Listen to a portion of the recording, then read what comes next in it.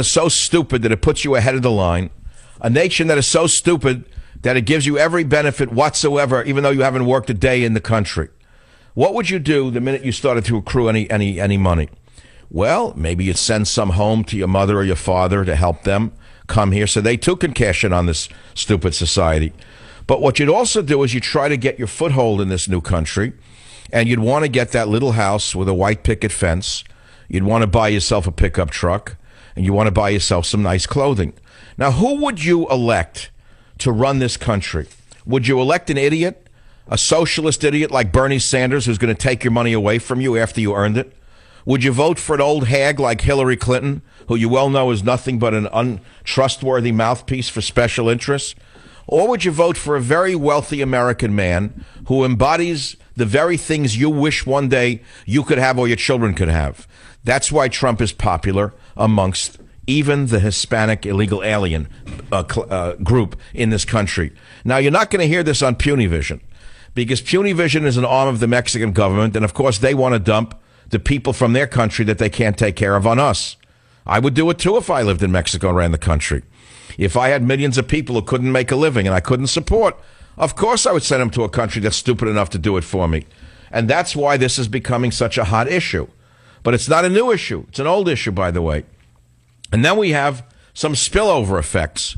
And that is most of the social service money is being sucked up into the illegal alien community, as you well know. And a lot of it's not getting down to the people who need it on the bottom who have lived here all of their lives. Those would be the homeless, so called. And that's, uh, they're, they're interrelated problems, by the way. If you want to uh, talk about that, let's talk about that. Let's see. Uh, KBOI, Jim, welcome to the Savage Nation. Your solution, please. Thank you, Mike. Hey, hey, listen, we don't need a fence, Michael. All you have to do is cut the cream off, cut the funding. We didn't have this problems in the 50s and 60s. It's, it's that simple. You cut that off, and the riffraff will stop. The ones that we want to come over, the hardworking folks, guest worker program. that's it. And, and uh, uh, the corruption in, in politics. Well, what you're saying is cut out the social services for non-citizens. Well, exactly. I mean, and well, but you see, here's a problem. The biggest linchpin in that problem are the anchor babies, because if someone has a baby here, then the mother automatically becomes a citizen, and she can bring in the father if there is one that she knows of, and the uncle and the aunt and the grandfather. And so the first problem is the 14th Amendment, which was never written to permit non-citizens to become citizens. Never was it intended for that. Do you remember I read the actual author of the uh, of the amendment back in the 1860s on this show last week? Did you happen to hear that? I listen to your show a lot. I don't know if I picked that up or not. No, everyone missed it. I was in New York and I had the best research on this subject in the United States of America. I actually read the 14th Amendment as written by the senator who wrote the law and what he intended. And it's shocking. He said it was never intended for non citizens, meaning uh, non Americans, to become citizens. Never. Never. He said that. It was not intended for non Americans to be made citizens with this amendment, but it was stolen by the, uh, shall I say, I'll call them the ultra tolerant brigades who live off uh, uh the illegal aliens and live off the, uh, the other people who are benefiting from these, uh, from these benefits. Benefits. I love the word benefit itself. See, I'm a former social worker, and I think that's important for you to know so you don't think I'm a bad guy.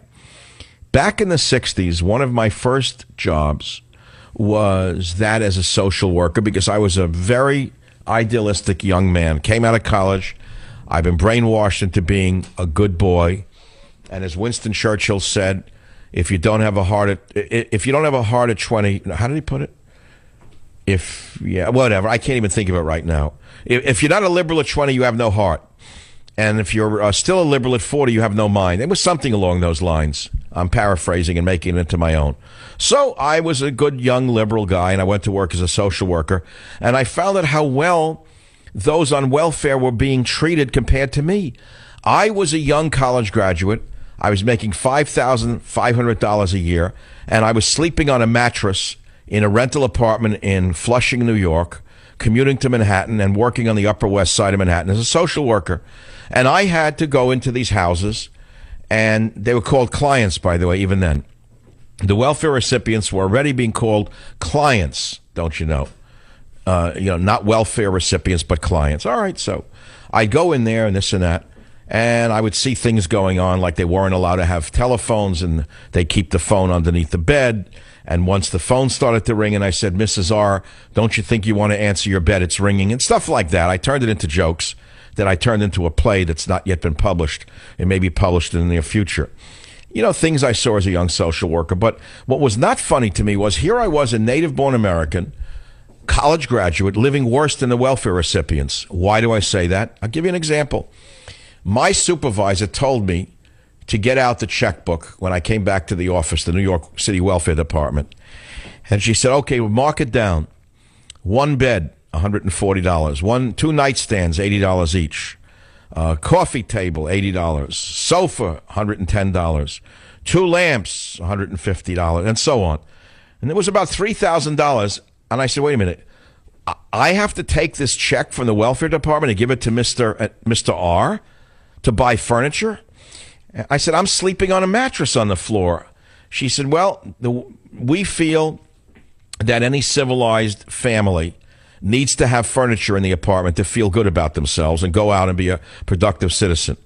That was the beginning of my road from liberalism to where I am now. I don't say it happened instantly, but boy, did my eyes open to what a welfare state uh, was and how nutty it really was. That's a true story. Later on in life, after killing myself, uh, to get a PhD. And I'll say it again till you finally hear it. I was a high school teacher and I wanted to be a college teacher. It was my greatest goal. So I earned two very high end master's degrees, publishing both as, uh, as papers in major journals. And then I got a PhD from the University of California at Berkeley because I was told by all my liberal professors that a PhD was a union card and that once I got the PhD, I automatically would have a tenured professorship so I could do my research and I could, you know, have an enjoyable life. Well, unfortunately for me, the ACLU said that some of you white people will just have to put your, your lives on hold while others get ahead of you. I, those are the exact words that you'll have to put your life on hold so others can advance in society. Well, I was one of those who had to put his life on hold. I had two young children. I wanted to teach. I was rejected from 200 colleges with an almost straight A average and six published books at the time. And they were hiring, hiring people who were far less qualified than I was, which is why the universities have degenerated into the smoldering ruins that you see now. Uh, and so I then had to go out into the wilderness of the job market for 20 some odd years until I discovered that I had other talents. And here I am years later as a very successful broadcaster and, and writer. I always was a writer, but okay, I've achieved a certain degree of success. The fact of the matter is, I'm not complaining about it. But the cauterization that occurred as a result of those years of wandering in the desert because the socialism of our country had already penetrated every avenue of, uh, of our society, that, that is what really turned me into who I am today. I became an utter realist. And I learned that in order to survive, you better open your eyes as to what's really going on. So here I stand before you now talking about today bums defecating in the streets of San Francisco, urinating openly, Kate Steinle being shot by an illegal alien. The crime, by the way, still not uh, being talked about anymore. It's as though she died for nothing. And so we have real problems, social problems in this country. And I believe that it's a philosophical problem behind it all. Not I believe, I know it is. I don't, I don't believe it at all. I know it. I know it for a fact that it's a philosophical issue rather than a strict social issue. And the philosophy is that of ultra tolerance versus realism. I'll be right back to talk about the latter, not the former. Join the Savage Nation. Call now 855 400 Savage. 855 400 7282. Savage. My Savage Nation is sponsored by SwissAmerica.com, the only company I trust to protect my wealth with gold and silver. Call 800 B U I C O I N. All right, this just came in in the New York Post. Uh, you heard about this terrible situation of the uh, the uh, fired reporter who killed a, a, a, woman reporter and a newsman shooting at point blank range. Thank God this animal is dead. He said, What sent me over the top was the church shooting. On air killer wanted a race war. The suspect, the suspect, the the animal in the deadly on air shooting of a reporter and cameraman in Virginia said the Charleston church massacre made him snap. telling ABC News in a rambling manifesto that he wanted to spark a race war between blacks and whites. Quote, My name is Bryce Williams. Why did I do it? I put down a deposit for a gun on 6 1915. The church shooting in Charleston happened on 6 17 15. Wrote Vester Lee Flanagan II, a former on air reporter who worked at Roanoke affiliate WDBJ under the name Bryce Williams. He said, What sent me over the top was a church shooting, and my hollow point bullets have the victim's initials on them. As for Dylann Roof, you blank, you want a race war blank? Bring it on, then, you white blank. Williams added that, the, that Jehovah spoke to him, telling him to target on air reporter Allison Parker and cameraman Adam Ward during a. Well, I don't have to read anymore. All you know is that you have a deranged, evil man who had tried to use the race card before when he was fired for being a troublemaker. And he was such a liar that even the EEOC, which is stacked in his favor, threw the case out. So, claimed to have been a constant victim of racism, sexual harassment, and bullying. And he said most of it was because he was a gay black man. All right, so you get the whole picture. Meanwhile, he snapped, so to speak, and he killed his poor woman and the and the, and the uh, sound man, and then killed himself. Well, the cops finally caught him in a ditch and this and that. What are you going to make of a story like that? What can you say about a thing like that? What in the world can you say other than what kind of country am I living in? Who are you going to blame for it? You got a lot to blame. Easy access to guns. Uh, let's say uh, easy access to uh, excuses. Let's say Obama's war on the police. Let's say Al Sharpton's war on the police and white people. Let's say the loose tongues of Eric Holder for so many years, uh, blaming the police for policing. Things like that. You know, it all adds up. It's like a trickle effect. Eventually, it takes the uh, weak people and it gets into their psyche and they snap. So there are uh, results of this kind of uh, talk by government officials who trigger these things. That's all.